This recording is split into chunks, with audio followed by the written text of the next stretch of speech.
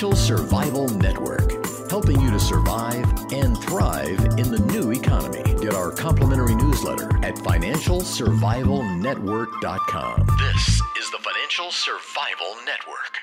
This show is brought to you by Audible. They are the leading provider of spoken audio information and entertainment. You know I'm a huge Audible fan because you can listen to audiobooks whenever and wherever you want. Whether you're at the beach, the gym, or stuck in traffic, there's nothing quite like Audible. Go to audiblepodcast.com slash Lutz and sign up today. You are listening to the Financial Survival Network.com. I'm Kerry Lutz on 1230 WBZT. In this economy, you either have skills or you don't. And if you don't have skills and you don't have contacts, then you wind up moving furniture for a living. And I know this after this past weekend because I saw it firsthand. Here to talk about it is Charles Hugh Smith. Charles, welcome back to the Financial Survival Network. Thank you, Kerry. Glad to be here. So, so what I'm talking about, what I kind of experienced this weekend, is kind of what you've been writing about lately, isn't it? Yes. And yeah, just to recount, so I line up the Russian mafia Israeli uh, movers, and of course they stand me up. So then I go for the U-Haul, and I line up the uh, the illegal alien movers, uh, and they didn't stand me up. They get they wind up being an hour and a half late, but they show up, so I'm grateful. And nicest guys, but basically they have no skills, so they're moving furniture for a living, and that's kind of what we come down to here, right? Yes, and as we uh, both know, and we've talked about in previous shows, the uh, the new economy, or what I call the emerging economy, it is dependent more and more on what I call, and other people call, human capital and social capital. In other words, if you don't have skills and, and connections and networks, um, it's very difficult to earn a living. Ain't that the truth? And yeah, I look at these guys, they were really working hard, physically working harder than I ever do, and not getting a big return on their investment, and you know, not having a lot of options on on how to make income. Yeah, and we were uh, before we started the show, we were talking about uh, um, a commentary you wrote a couple of weeks ago on the the gross, absolute, catastrophic failure of the higher education system uh, to prepare students for the real economy and it really struck a nerve with me because uh, last year I wrote this piece called "The Nearly Free University," in which I proposed that we basically get rid of um, this uh, the whole college system as it stands now, and and go to an online, more informal way of, of learning what you need to learn without paying somebody a hundred thousand bucks for a worthless degree. Ain't that the truth? I mean, a hundred grand, you could start a couple businesses for that and fail, and you'd learn more from starting those businesses than you would ever learn from uh, from those colleges. Because look i mean i went to school and that was a long time ago but for the first two years basically all i did was party. I wasn't a real regular attendee at several of those classes that i thought had little or no value. And it wasn't till i went to night school where there were other serious students who really needed that degree to get higher income and a path to a better life that I really figured out that there was something to be had at college.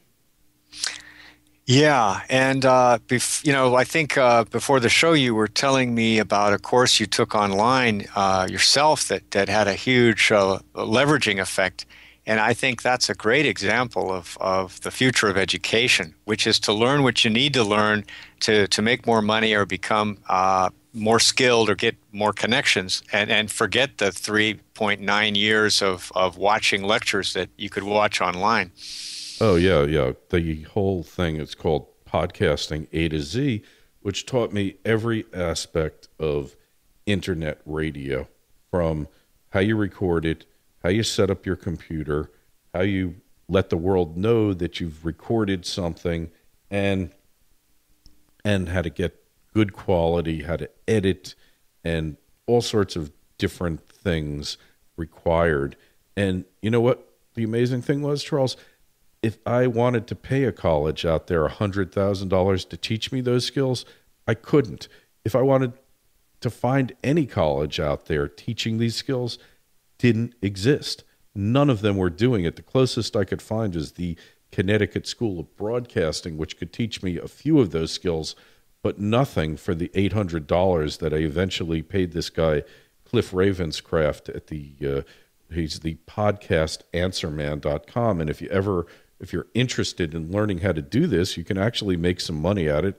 I wouldn't say I'm ready to retire quite yet, Charles, but you can actually earn a living at this and you can actually um, create a career here and for a thousand dollars eight hundred thousand dollars you can actually actually do something here that uh, college for many times that you won't be able to do yeah and i think that we were uh, it, it, ties into a theme of um, we were discussing before the show as well which is uh, diminishing opportunity and the rising costs of education and so there's uh, you know it's like every the students today are being crunched. You know, they're they're um, being burdened with these enormous uh, costs uh, and student loans for less and less return.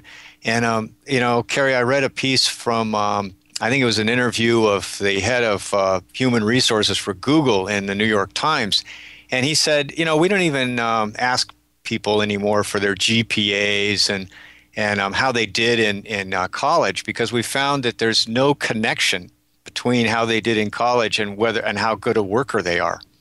Zero.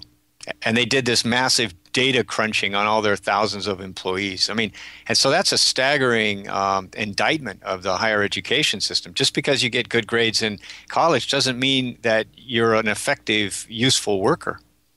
That is remarkable because everything in college is geared at, to that GPA, and everything in high school is geared at getting high grades to get into that great college, to get that great GPA, to get that great job. And now you find out Google tells you, and believe me, if Google says it, I believe that it's true because they are the number crunchers. They are the ones that know how to correlate that data. So if there's no point in getting that grade, then what the heck are you doing with uh, four years of your life? Yeah, and it uh, it does call into question the whole the whole point of a degree. And then um, the other interesting thing the guy said was that 15% of Google employees don't even have a college degree. And there and that the number of people that work for Google that don't have a college degree is rising. So what what they're obviously what they're hiring is they they want like uh, go getters, self starters, people who go out there and learn how to do stuff on their own. And um, really, there's no other way to learn. You know, like it's kind of like how much you know do you learn about cooking by watching uh, you know 100 hours of, of um, cooking shows on tv you, you really learn nothing i could teach you more in, in 20 minutes in the kitchen than you'll ever learn by watching 100 hours of cooking shows yeah, you could probably learn more at McDonald's flipping flipping burgers than you could uh, watching Giada. Although I have to be fair here, my daughter knew absolutely nothing about cooking, um, and she started watching the Food Channel. Now she didn't learn anything about cooking from it, but it sparked her interest, and from there she started trying to cook, and on her own you know, she got some cookbooks and she said, "Wow, you know, I can actually measure ingredients and I can mix them and I can follow directions." And she get, became a pretty fair chef. So, from that standpoint of spurring interest, sparking curiosity, it's a great thing. But from the standpoint of actually teaching you, you can't learn passively. The only way you can learn is by doing. I think that's the point there, right? Yeah, and I think that your point about being inspired and kind of learning the basics by watching is, is also valid. And I think that's where these, uh, they call them MOOCs, like M O O C, which represents uh, massively open online courses. this is where you basically take the best college lecturers and then they put their lecture online, and then 40,000 people or 400,000 people can all watch the same lecture. And so you don't need um, 99% of the mediocre lecturers out there. because everyone can watch the best lecturers and, and, and learn the basics from um, the best lecturers out there online for basically nothing. That is such a great point. And and what the value of a degree really goes down to nothing in that point because your GPA doesn't matter as Google has established. And let's face it, Google's got hundreds of thousands of people working for them. So they know just from their own gene pool if if GPA mattered, they would have figured it out, certainly. Yes. And so it suggests to me that um, learning to excel in the higher education model, you know, which I call the factory model, because students are basically like, you know, they're like machined parts going down the assembly line that you assemble your 30 credits by sitting in a chair for, you know, uh, uh, for four years, and then you're um, stamped. You know, at the end of the process, you're stamped with a d- diploma. But um, excelling in that uh, system doesn't mean that you'll excel in the actual, you know, the new economy. And that's where I think higher education is really failing. I mean, it's completely out of touch with the real economy. And, you know, I, I mean, Kerry, let's say that uh, you and I, our businesses were growing to such a degree that we needed to hire uh, someone to help us. Would we be looking at someone with a college degree and, and a GPA, or would we be looking at what they actually know how to do in the real world? That is a great point, Charles. And we'll talk more about that up next. Hi, this is Kerry Lutz of the Financial Survival Network. These are trying times. The most important issue you face today is how to stay free in a world that's becoming less free by the day. Join myself, Mickey Fulp, Robert Ian, David Morgan, and 12 others at the Liberty Mastermind Symposium in Dallas on June 28th, 29th, and learn how to create your personal roadmap to staying free. Don't miss it. Join us and register now at libertymastermind.us. Sign in at libertymastermind.us. And we are back with Charles Hugh Smith. And Charles, so what about this concept here of the of the sheepskin, which is no longer printed on sheepskin? You get this thing after four years. Honestly, I don't even know where mine is. I lost it so many years ago. I don't even have my law school degree. I don't have my uh, my bar admission certificate. I haven't had them. They mean nothing to me uh, I feel like my creativity can't be measured by those certificates and my proudest accomplishments in life and probably your proudest achievements have absolutely nothing to do with those artificial degrees in your life. Your greatest accomplishments have come from your greatest creative acts in your life right? Right. And uh, i think that we um, I think we can sort of uh, summarize or characterize the new economy as one in which what's important is what you can do in the real world, not how many credentials you've assembled. And unfortunately, uh, a lot of people are still uh, back in the old mindset where the more credentials and degrees you acquire, then the, that means automatically that's uh, higher your skill level and the more people will want to hire you. But in actual fact, that's just not the case. Um, what, what people want is real world skills. And if those aren't being taught, then you've got to learn them on your own. Right. And for you, okay, I don't know how many careers you've had in your life, but you've had a few, right? Yeah, I think about seven. It's hard to, you know, that's how I kind of count them. And the career you're doing now, I presume, is the most satisfying you've had, right? Yes. And why is that? I think it uh, it combines uh, a lot of my interests and and skills, and um, I control it. In other words, I'm self-employed, and and uh, so my relative success or failure is is within my power and control, more or less. Mm-hmm. And I would venture to say you've gotten the most self esteem, if that's not a bad word in this day and age, because it's so abused from your current career as well, correct? Yes. Yeah, because you've you know your your identity is your own. You're not just a, a, cog in somebody else's machine. You define yourself by what you're doing in the in the real world.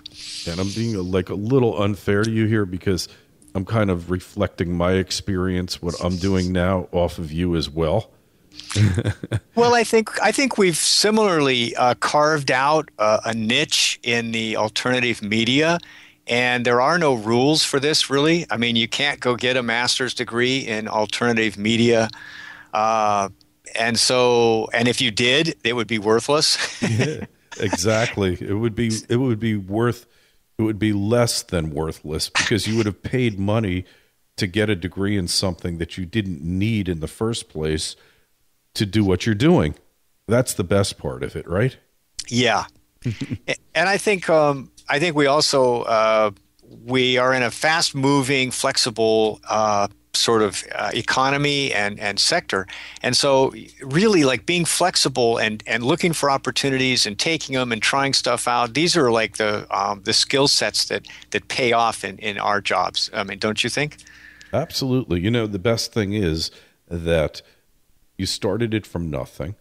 It was nothing before you, you came up with a concept and you build it, and then you reach a level, you kind of get a little, I wouldn't say bored, but you reach a level where you know you need to grow some more. You need to become more than you are right now.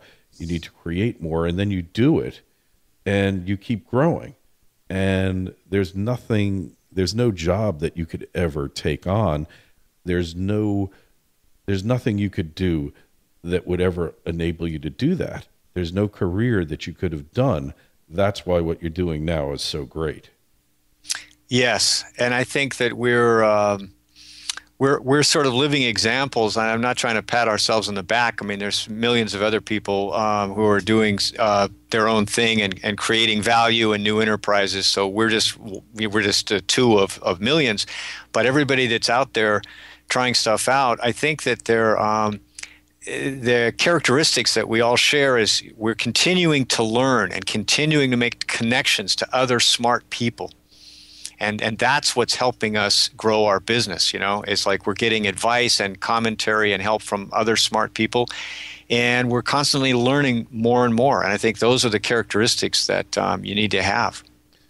Great point. And on that note charles well we're going to have to uh, end right now, but we will continue down this uh, journey, that this voyage that we've both undertaken, and like we're doing this Liberty Mastermind, uh, having a lot of other people uh, who are doing similar things as well. This uh, this Thursday, actually Friday in and Saturday in uh, in Dallas, we plan to have another one uh, probably in six months, and hopefully we'll have you there as well libertymastermind.us. It's going to be a great time. And Charles, uh, yeah, we're kindred souls, kind of doing the same things. You got to keep working on those skills. You got to keep refining them. It, there's really no substitute because if you don't do it, then you're going to be moving furniture. And if you can't move furniture, then I don't know what you're going to do. Well said, Kerry. Thank you very much. Hey, thank you. It's a pleasure. And uh, hey, your website again? Uh, uh, it's uh, oftwominds.com. And your books, uh, books are available there. What's your latest book? Uh, latest book is uh, Why Things Are Falling Apart and What We Can Do About It. All right. And don't forget financialsurvivalnetwork.com. Sign up for the newsletter. A lot of great information. I don't know that I'm going to get it out this week because I've been so busy with the move and all the uh, accompanying disasters that have occurred. So we'll talk to you again soon, Charles. Be well. Okay, thank you. The show is brought to you by Audible. If you want to listen to it, Audible has it. Would you believe they've got over 100,000 titles in virtually every genre you can think of? And don't forget, you'll get a free audiobook and 30-day trial just for signing up today at audiblepodcast.com slash Lutz. That's audiblepodcast.com slash L-U-T-Z. The Financial Survival Network, helping you to survive and thrive in the new economy. Get our complimentary newsletter at financialsurvivalnetwork.com. This is the Financial Survival Network.